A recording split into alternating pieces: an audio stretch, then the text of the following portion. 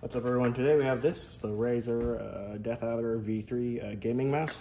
Uh, we're gonna see um, what's in the box and we'll plug it into a computer and test it out.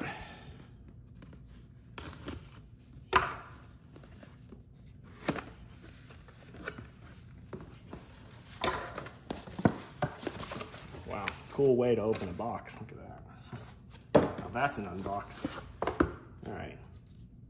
Here we have a uh, packet of like manuals and stuff and the all important sticker set. So when you get a, wait, I don't think this has RGB lighting because I, I just got a Razer keyboard and it has Chroma RGB lighting and you get this one, the silver Razer logo. Here you get the green one. And same for the, the words. That says Razer in green, that one says Razer in silver, like, or chroma, or whatever you want to call it, because when you move around the light, you see like rainbow effects and stuff. Okay. Okay then. And even the uh, the part number for it says green here. This one says Chroma V2. I don't know if you guys see that. Yeah, whatever, small detail.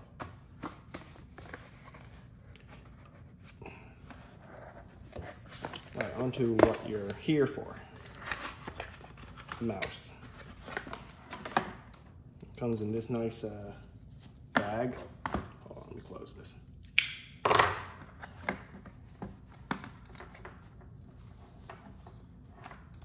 Okay, it's got a texture to it. The bag has some strings falling off of it. Cool.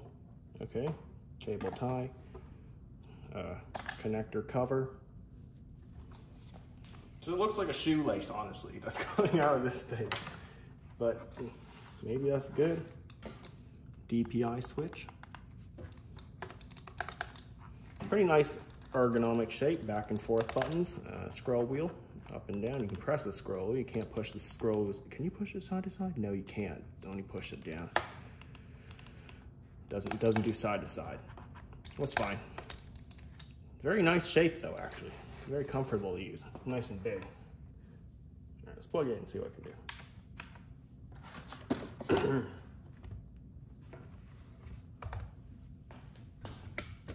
As you can tell, I'm filming the keyboard video as well. So it works, obviously.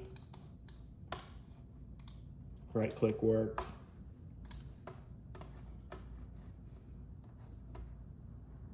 Oh, Razer wants me to install something. Yeah, you'll get this when you... Uh...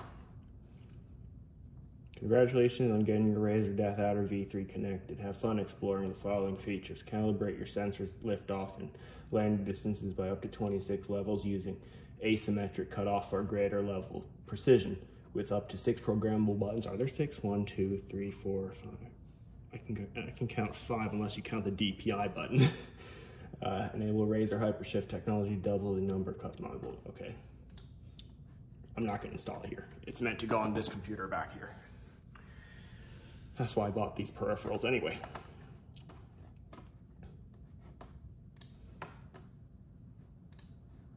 All right, well, scroll works in a Word doc.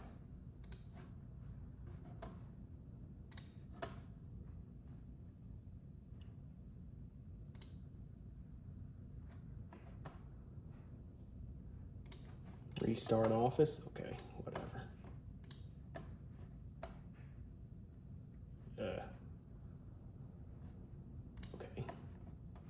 Restart Office. Oh, it's been applied. Whatever, but scrolling works, but if you want to see it, maybe you can't see it. Okay, yeah. Well, it's not a good demonstration of it scrolling, but just look at the scroll bar on the side. Not that it needs to prove that it works. These mice are pretty good, uh, I guess. All right, let's see that DPI button. It'll change colors depending on what speed you have. I bet you can customize that too in the software. I'll show you the software when I get it installed. Oh, it's really fast now. When I get installed in that computer. Another thing I like about this is that it's very lightweight. It's very lightweight. Uh, I don't have a scale on me right now. It'd be a bit suspicious if I carried a scale at all times. Um, but, you know, it's very lightweight. Um, so, no need to worry about a heavy mouse slowing you down when gaming. Uh, there you go. I'll show you the software when I uh, get it installed on this one in a couple of weeks, but for you it's going to be right now, pretty much, because editing. All right, so we are in Razer Synapse, the software that we use to control the mouse as well. I just did a video, the second part of the video on the keyboard. So we would click on the mouse right here. Here's all the customizations. I'll zoom in a little bit.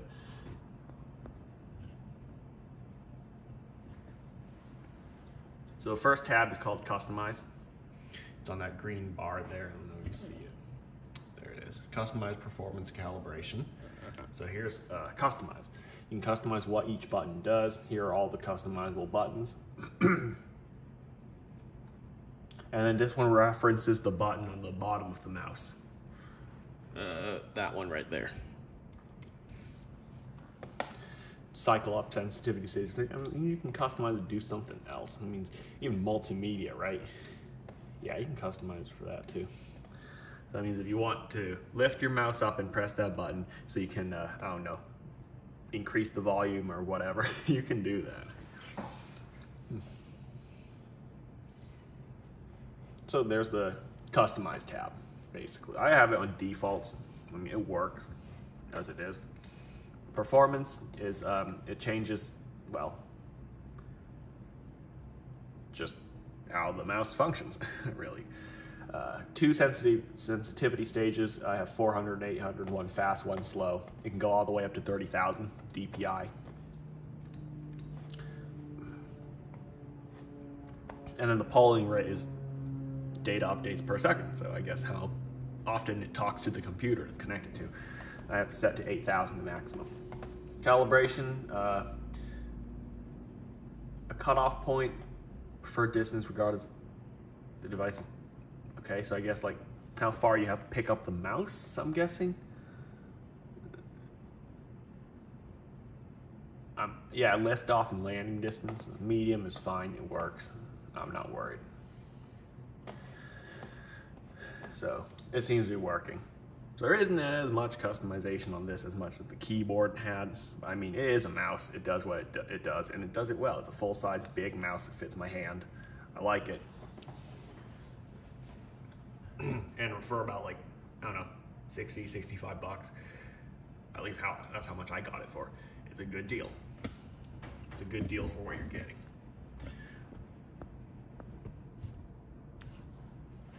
So I brought my kitchen scale just to show how lightweight it is. I do like how uh, light this mouse is. Without the cable, or at least with part of the cable attached, it only weighs 58 grams, which is really good. it allows for very quick movements in games. It allows for uh, uh, quick responses when clicking stuff. Uh, you're more accurate with a with a lightweight mouse. And I mean, I don't care. It doesn't have any RGB on this thing except for that button there, which is the only instance of RGB on this thing. Because I mean, my hand's on it all the time, so why do I really care? I care more about on my keyboard because usually only one hand is on the keyboard when I'm gaming.